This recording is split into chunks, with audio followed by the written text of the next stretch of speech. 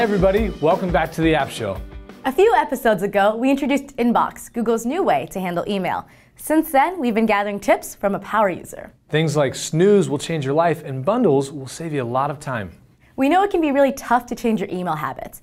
For me, using Inbox lately has actually proven to shorten the amount of time it takes me to deal with email. And even for you Gmail power users like myself, I found some helpful tips.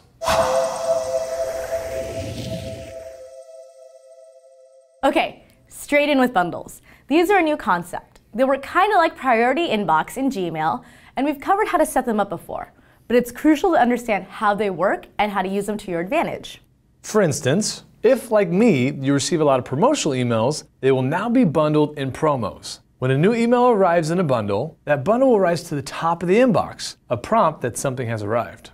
I only ever look at promos maybe once a week, so for me, being able to choose when a bundle shows up is an excellent feature. In the main menu, open a bundle, then touch the settings cog. By default, Show Bundle will be on as message arrives. Touch it, and you get the option to have the bundle appear daily or weekly.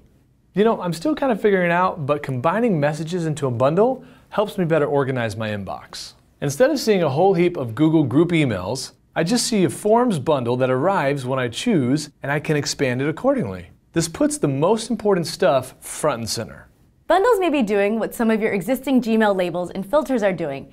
In my case, that would be for calendar invites and promos. So you may need to audit your Gmail filters and labels to remove the ones that are doing what Inbox is automatically doing.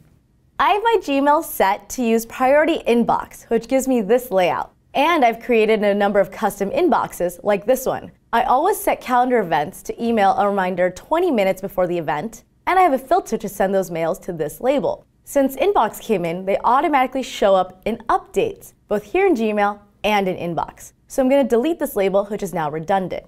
Hover the cursor over it and a down arrow will appear. Click it, then click Remove Label and confirm that's what I want to do.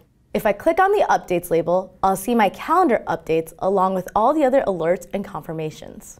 On my phone, if I go into Updates bundle, then the Settings cog, I can set all notifications to bundle. Now on the top level of Inbox, I'll see my calendar notifications in the Updates bundle.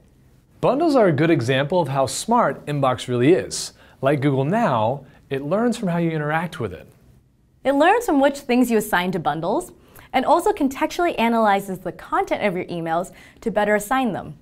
A great example of this is how Inbox helps me with my expense reporting. When I finish a trip or several trips I need to file my expenses, I click on the trips bundle and the receipts I need for each trip, things like hotel and flights, are often already grouped together, which makes them much easier to file. Before, I had to search for each email amongst the mass of all my other emails. So Tony Grazio, who's our Inbox power user, gave some really interesting tips around this. Thanks, Tony. He lives by the single touch principle. What this means is that he aims to take an action for everything that Inbox delivers to him. If an email comes in that he can't take action on until, for example, he's back in the office, he will snooze it via the time or location options. A lot of people love this attitude towards mail because you clear your inbox and don't have to think about those emails until they come back from being snoozed. Most things you do in one will be reflected in the other. For example, if you trash an email in inbox, it'll be deleted in Gmail. If you mark as done or sweep an email in inbox, it'll be archived in Gmail. The inbox does have some features like snooze and bundle, which won't show up in Gmail. We realize inbox is not for everyone, but we've seen it work well for those that have an inbox zero mindset. People like myself who have a really detailed workflow in Gmail currently, well, I've tried it out, but I still prefer Gmail. For now. Hey, um, in both, there's this awesome feature called undo send. Which is helpful if you do a typo and send the email still with the typo. Or you accidentally CC the wrong person. Or reply all to the whole company. Who would do that? Anyways, if you do any of those things, you can undo send for a few seconds after the email's already out the door. This is built into Inbox, but you have to set it up within Gmail. And here's how to do it. Click the gear in the top right, select Settings, scroll down to Undo Send, and click Enable. You can set the cancellation period up to 30 seconds. Don't forget to click Save Changes at the bottom of the page. In Gmail, emails can be marked with a star to show they're important. Inbox has pinning. There are a number of reasons to use the pin. A pinned mail will always be visible in the inbox, even if it's in a bundle. I pin a mail if I want to make sure I can find it.